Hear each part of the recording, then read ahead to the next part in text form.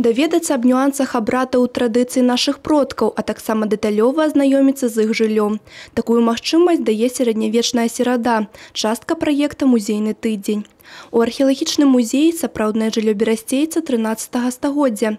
Як правіла, наведвальнікаў туды не пускаюць, але гэты раз стаў выключэннем. Госці пабывалі ў доме продкаў. Молодь тут основная аудитория. Привлекает это место, потому что это наша история, во-первых. Во-вторых, это место очень-очень-очень навевает такой стариной нашей, нашими предками, историей. И, в принципе, мы можем посещать такие места и прикоснуться к прошлому. Я думаю, это воспитание патриотического духа, скорее всего, потому что если мы будем знать историю, то мы будем э, иметь даже какой-то какой-то шанс на будущее наше. У жылі берасцян шмат асаблівага, гавораць арганізатары серады.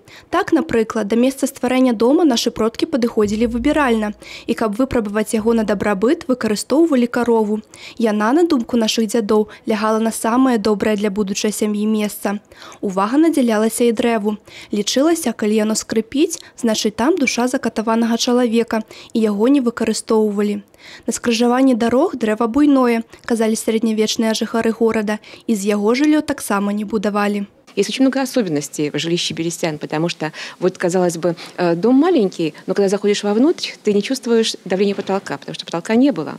Оказывается, были печи особые, печь, топившиеся по-черному, поэтому дым выходил прямо в помещение. И вот такая высокая, такая высокая жилой дом, он давал возможность э, дыму скапливаться вверху, то есть не выедать э, дыму глаза человека. И было такое еще изречение «дымные горести не терпев, тепла не иметь». поэтому нужно было терпеть дымные горести. У тыя часы ў кожным доме меліся абярэгі. Паспрабаваць сваімі рукамі вырабіць сабе такія ж наведвальнікі музея змаглі падчас майстар-класа. Галоўная мэта праекта больш даведацца аб усходнеславянскай горадабудаўнічай культуры. Арганізатары лічаць, яна дасягнута. Это музей з'яўляецца унікальным па свайму кшталту і па свайму насычэнню.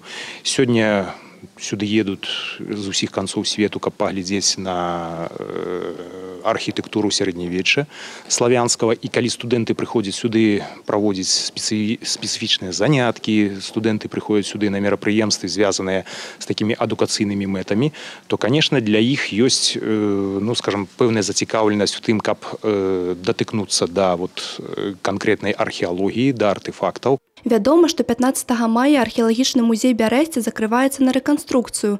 Да гэтага часу ў брастаўчаны гасцей горада яшчэ ёсць магчымасць яго наведаць. Мерапрыемства, хоць і на такі кароткі тэрмін, запланавана шмат. Анастасія Цікун, Александр Сівіцкі, тэлерадыёкампанія Брэст.